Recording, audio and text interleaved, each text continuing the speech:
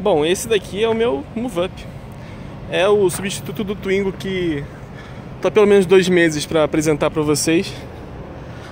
Ele é 1516, né? Ele não tem rodas opcionais 014, mas ele tem o rádio opcional, aquele rádio que se integra ao painel.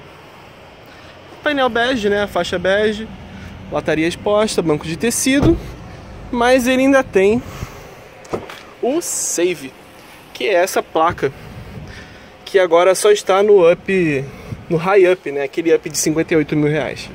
E a caixa ativa eu escondi aqui. Eu já tinha ela no Twingo e apenas transferi para esse carro. É isso aí. Vamos dar uma voltinha com ele agora? Pois é, eu escolhi um Volkswagen Move Up como substituto do Renault Twingo. É, eu sinto bastante falta do Twingo às vezes, mas o Up era justamente o que eu realmente precisava nesse momento.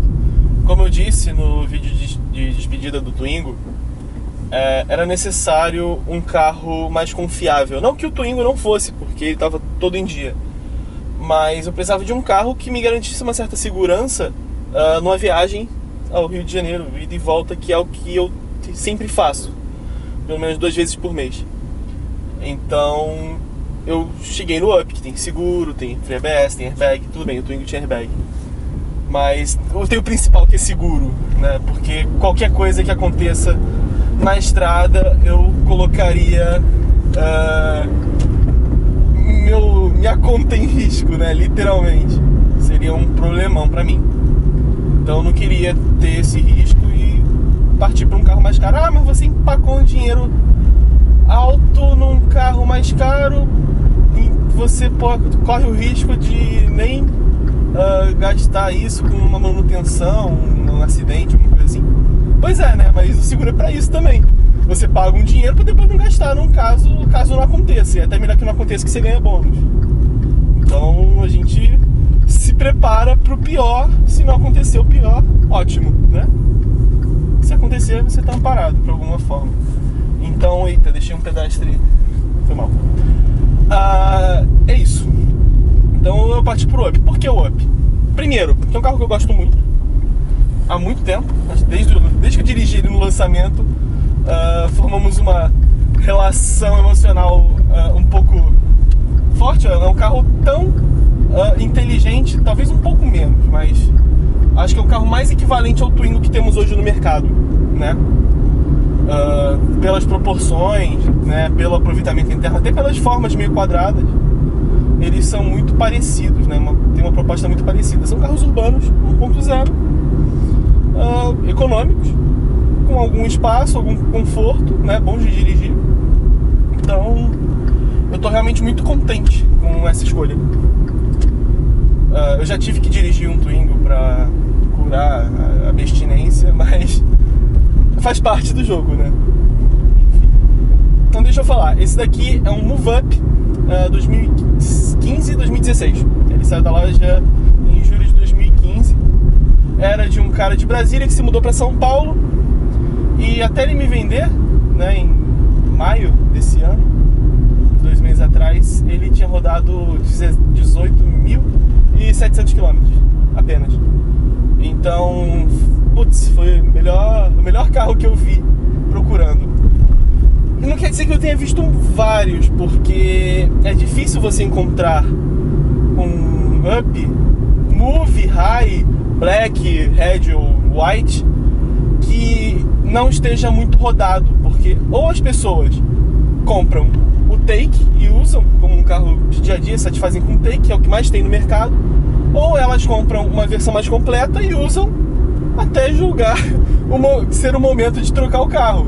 E isso quer dizer que você encontra up aí com 60, 80, até 120 mil quilômetros. Era um iMotion isso que eu vi. 120 mil quilômetros rodados.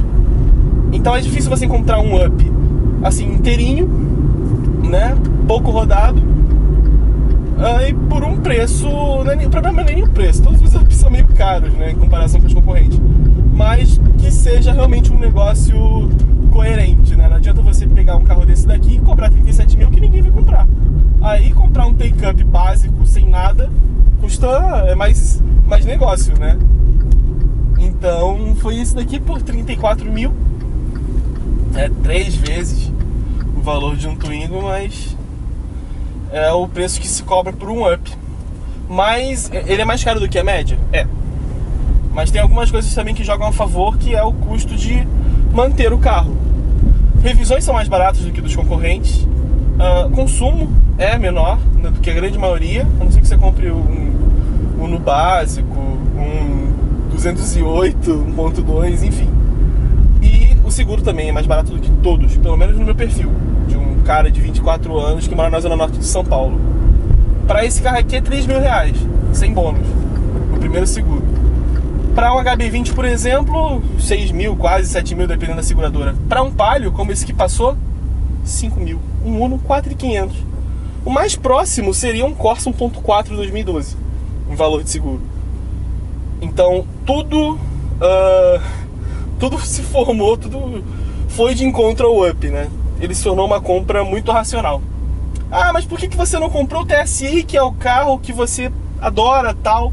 Justamente por isso, porque foi na escolha racional. Fui direto na escolha racional. É, eu não precisava comprar um carro com 20 cavalos a mais, 7 kg de torque a mais, para fazer uma viagem em São Paulo, porque esse motor aspirado aqui já atende bem. São 82 cavalos? São. São 10,4 kg de torque? São. Mas é suficiente eles, tudo bem, o câmbio é mais curto e isso termina sendo incômodo quando você mantém, sei lá, 120 na Dutra um tempão. Mas, porque ele mantém quase a 4 mil giros, são 3.500, 3.700 RPM. Mas atende e o consumo não é tão prejudicado assim, eu consigo ir e voltar com pouco, pouco mais no tanque, assim, dá para fazer uma ida com meio tanque e a volta com um pouco mais porque tem a serra né, na volta. Mas dá para fazer. E eu consigo voltar a abastecer em São Paulo, que é mais barato. Então, deu certo. Foi uma escolha realmente racional. Eu não queria gastar mais dinheiro com, com a versão TSI. Eu até cheguei a olhar, né? Como foi na época que estava mudando, eu cheguei aí na, num feirão da Volks, ver quando saiu um TSI zero e tal. Aí eu vi o preço e voltei para casa e vi que eu não ia pagar mais de quase 15 mil a mais no final, né? No financiamento, para ter um motor mais potente, sendo que seria mais divertido, seria, mas não faria tanta diferença assim na prática. Ter um TSI. E aí que tá um outro detalhe, eu vou. Depois eu volto no novo up, mas existe muito mais up TSI no mercado de usados do que o aspirado, que existe há mais tempo. Pense nisso. E é muito mais fácil você encontrar um TSI pouco rodado ali com 10, 15, 20 mil quilômetros que é a média que você encontra deles.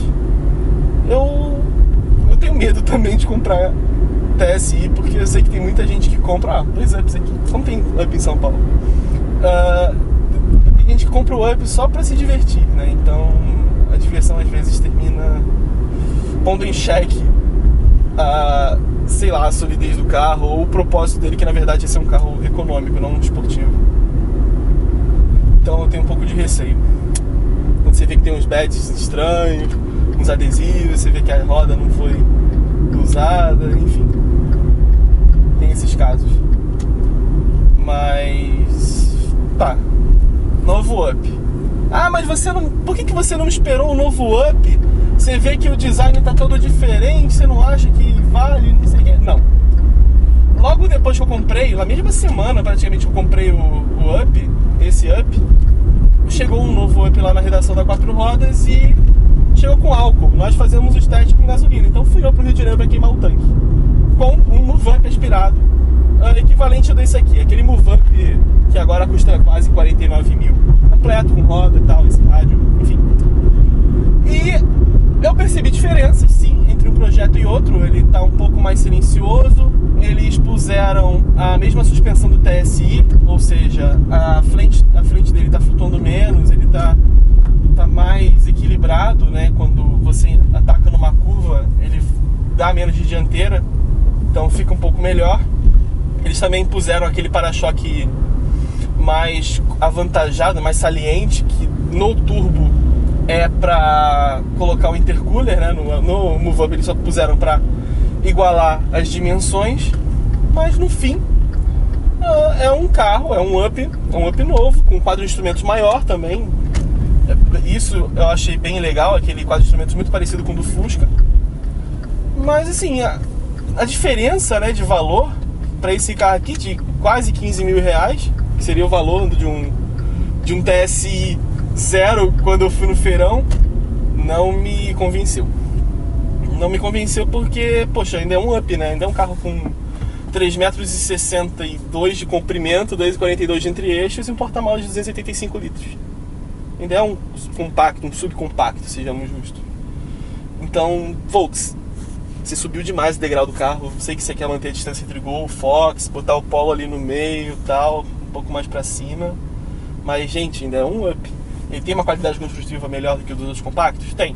Ele é muito mais sólido. Ele tem um fechamento de porta de carro médio. Ele está muito mais próximo de um Golf do que de um Fox. Mas ele ainda é um up. Ele é tão pequeno quanto o nome. Então eu estou contente com a escolha de um up mais antigo, com visual antigo, até, que até acho mais condizente né, com a proposta dele. Eu tenho uma miniatura de um duas portas, esse aqui ainda é um conceito, mas eu já tinha ele, por acaso eu comprei um parecido. Enfim. O novo tá aí, né? Ele parte dos 38 mil na versão Take, sem ar, sem direção. Na verdade a gente tem direção elétrica, mas não tem vidro elétrico. Enfim, você bota um pacote de 5 mil reais para deixar ele completo e ele deixa de valer tanta pena, né? Você consegue um Fox completo por, pelos mesmo, pelo mesmo valor com, é, cobrado pelo MoveUp, que são 48 mil reais. Se você pôr na ponta do lápis, nem sempre o Up é a melhor, melhor compra, até mesmo se você tem uma família maior. Eu sou solteiro, pra mim tanto faz um carro pequeno ou grande. Mas para uma família, o Up, o Fox vai atender melhor. Voltando a falar das minhas buscas por um Up usado, uh, eu vi muitos. Na verdade, eu fui em busca de um Move Up com esse rádio aqui e pronto. Só que aí eu comecei a ver que dava pra comprar High Up, dava pra comprar o Black, comprar o Red, comprar o White, enfim. Eu fui olhando esses carros. Eles custariam praticamente a mesma coisa que esse daqui, uh, sendo modelos 1415, 1314, né, das primeiras unidades, ou 1414. E tinha uma coisa em comum nenhum deles conseguiu fugir à regra. E como eles têm, eles têm todos pneu Hankook, né, o 15 polegadas. E todos os dianteiros estavam desgastados, estavam no fim da vida. Todos eles com menos de 40 mil quilômetros. É um pneu mais macio? Perceptivelmente sim mas ou não fizeram rodízio, ou enfim, mas todos eles manifestavam a mesma coisa: pneus dianteiros desgastados. Eu teria que gastar mais 800 reais para trocar os dois pneus. Aí não valia a pena, sem contar que eram mais rodados. Então no fim eu fiquei com esse daqui, que estava mais novo, no ano, na quilometragem, na lataria, nos pneus, em tudo. É quase um carro zero, com 20 mil quilômetros rodados. E a maior parte em estrada tá sólido, justinho, então terminou no fim valendo a pena. Mas a roda do High-Up é muito mais bonita, né? E esse aqui tem calotas. Mas tem o rádio que eu queria, então pra mim tá tudo bem. Que é o que eu vou usar mesmo na estrada. Ou no dia a dia mesmo. Rádio com Bluetooth, CD e USB. Ah, mas por que você não comprou um com o Maps More? Maps More não chega a ser tão necessário. Eu posso botar meu celular aqui comprei um suporte magnético e pronto. Tem o Maps More, tem o Waze aqui. De toda forma, eu teria uma telinha aqui e estaria usando o Waze. Então, essencialmente racional. Tudo que ele é. Agora, uma coisa que eu tiraria do novo Up, ou copiaria né, do novo Up para esse daqui seriam os pneus. Esse daqui usa um Goodyear Dura Plus. Os novos usam a próxima geração desse pneu, que é o Efficient Grip. Ele é mais silencioso, ele tem mais aderência, ele grita muito menos, ele demora muito mais para gritar numa curva em alta do que esse daqui. Esse aqui é duro, ele é um pouco mais áspero. Então eu percebi que isso no novo é uma coisa bem boa, foi uma, uma coisa que melhoraram bem.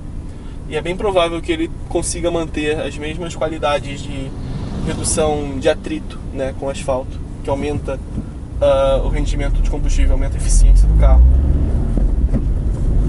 Mas é isso aqui, é um up, né? Ele é quase um Fusca, um volante mais vertical, mais para cima. Uh, ele tem pedais mais espaçados do que os Volkswagen normais. É meio, meio não, é bem difícil fazer um punta-taco.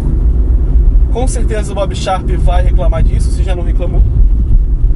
Mas é bom, eficiente, embreagem hidráulica, né, que o, que o Twingo não tinha, uh, ajuste de altura do volante, direção elétrica, o meu Twingo não tinha nenhuma assistência de direção, e um câmbio justo, né? Aquele por varão da Renault não é justo. Mas é isso, bancos bons, amplos, né? grandes, até acima da média do segmento. Acho que só o Ford K tem bancos melhores. O problema é que o carro, o resto do carro, eu acho que não está à altura, pelo menos em qualidade construtiva. Mas é mais espaçoso. Motor mais potente. Mas é isso. Meu Move Up, substituto do Twingo, tá aqui. Apresentei a vocês finalmente. Até a próxima, pessoal. Eu vou contando como vai ser meu meu uso com o Up, minhas experiências com ele agora e com a rede da Volks também. Até mais. Fui!